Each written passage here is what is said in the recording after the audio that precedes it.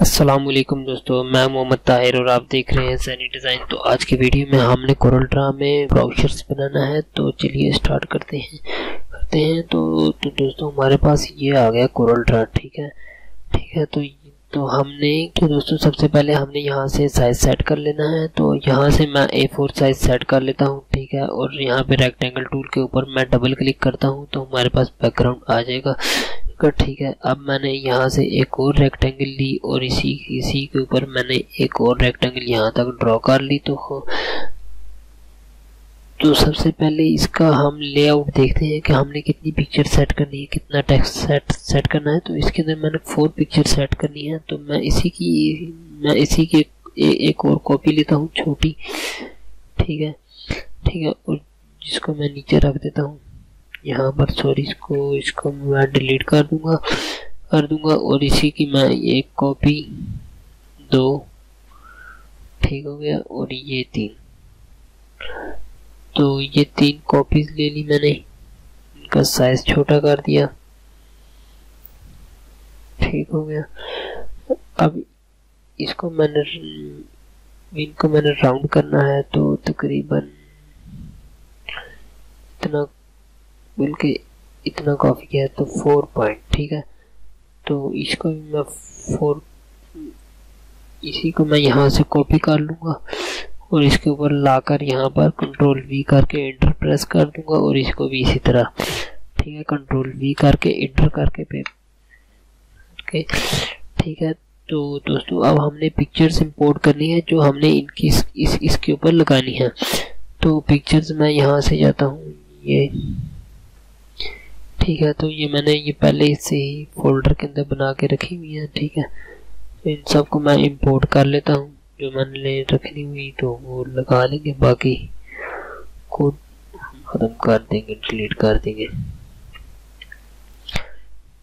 तो इनका साइज़ थोड़ा बहुत बड़ा है तो साइज़ इन सबको छोटा कर देते हैं। ठीक हो गया।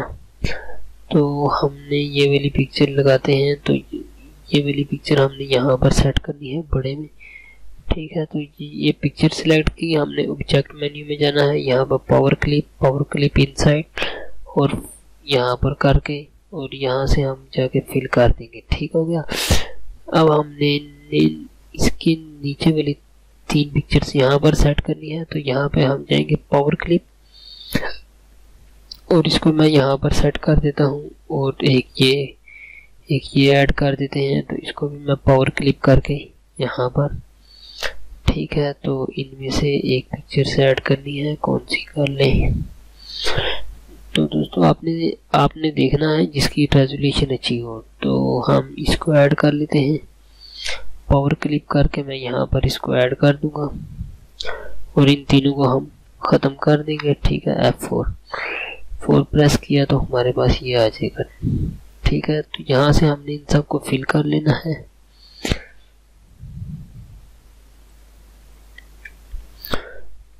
तो ये देखिए, हमारे पास पिक्चर्स ऐड हो गई हैं। अब हमने इन सबको इन सब की आउटलाइन थोड़ी सी बड़ी रखनी है, पर ग्रे कलर में। ग्रे कलर में रखने का फ़ायदा ये है कि कि ये बिल्कुल बैकग्राउंड के अंदर बैकग्राउंड के अंदर ये मर्ज नहीं होगी तो इन सबको हमने यहाँ से ग्रुप कर लेना है। कर लेना है। अब हमने इसके अंदर, अब हमने इसकी भी आउटलाइन ख़त्म कर देते हैं। और अब इस, हमने इसके अंदर थोड़ा सा डिज़ाइन ऐड करना है। तो मैं यहाँ पे एक रेक्टेंगल ले लेता हूँ। और इसी की कॉपी एक मैं यहाँ पर लूँगा। ठीक है, और इसका इसको मैं थोड़ा सा लंबाई में बड़ा कर दूँगा। ठीक हो गया। और और अब हम इसके साथ एक यहाँ पर लेंगे। लेंगे और यहाँ से हमने पेन टूल लेना है। ये देखिए, ये पेन टूल और ऐसे क्लिक करके, ड्रैग करके और फिर हमने यहाँ पर क्लिक कर लेना है? ठीक हो गया।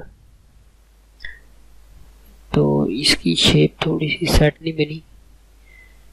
इसको हम सिलेक्ट करके थोड़ा सा इसको सेट कर देंगे। तकरीबन तो मुझे इस टाइप की चाहिए तो। ठीक है? तो इसी की मैं एक और एक और कॉपी लेके यहाँ पर रख दूँगा। ठीक है? और यहाँ से स्मार्ट फिल टूल और यहाँ पर क्लिक कर दूँगा। सॉरी सब पे क्लिक हो गया यार। बैकग्राउंड पे क्लिक हो गया। तो अब हमने इन सबको डिलीट कर देना है। सिर्फ़ इस चीज़ की हमें ज़रूरत है।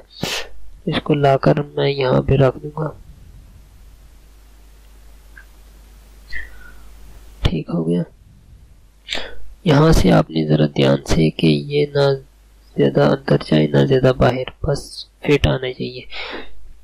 ठीक हो गया तो अब हमने इनके अंदर, इन सब के अंदर अब हमने कलर फिल करने हैं तो कलर तो कलर से ही हमारा डिज़ाइन खूबसूरत बनेगा तो हमने कोई अच्छे अच्छे कलर फिल करने हैं।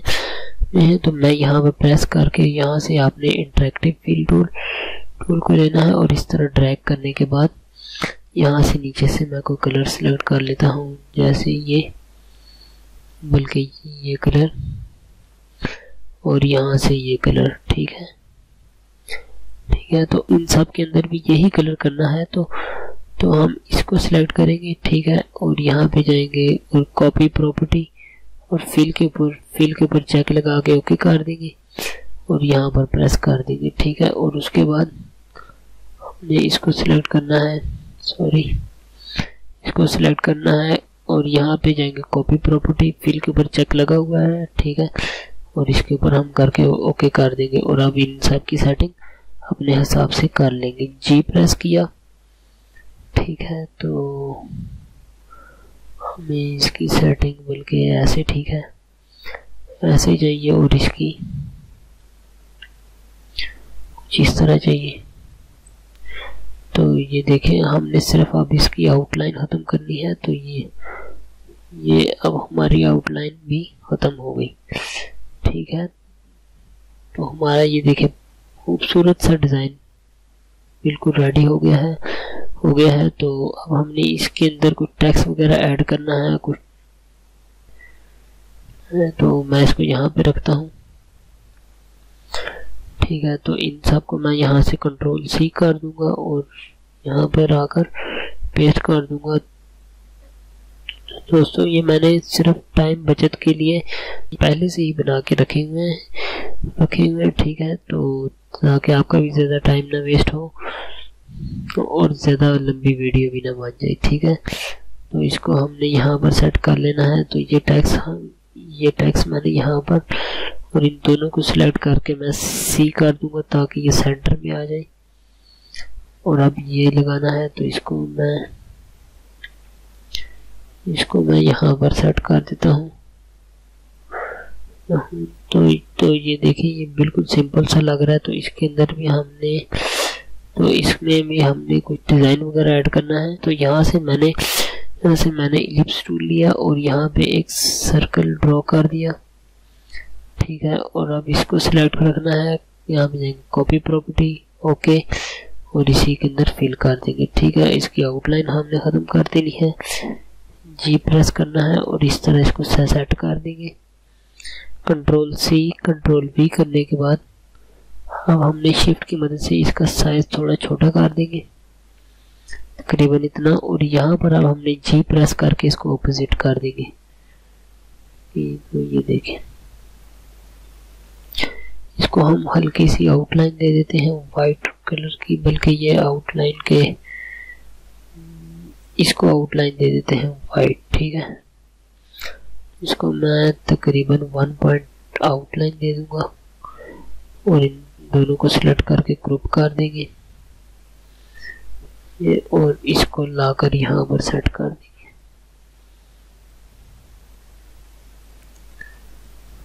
ठीक हो गया और यहाँ से शिफ्ट पेज अप कर दूँगा।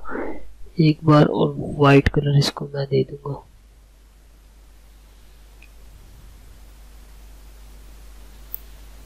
ठीक हो गया।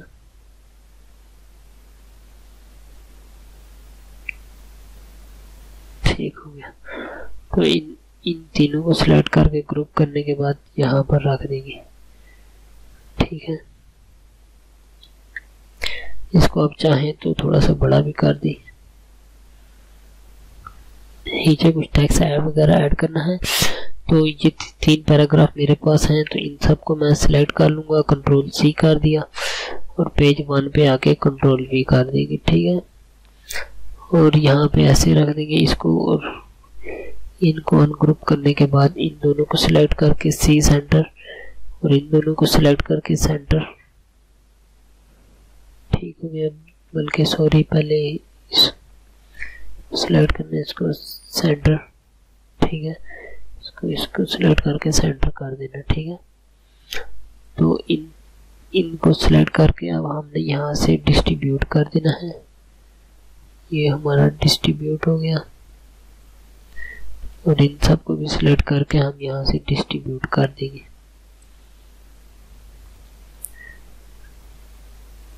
तो ये ये टैक्स हमारा कुछ ज़्यादा बढ़ा जा रहा है। तो इसको इस तरह कर देंगे।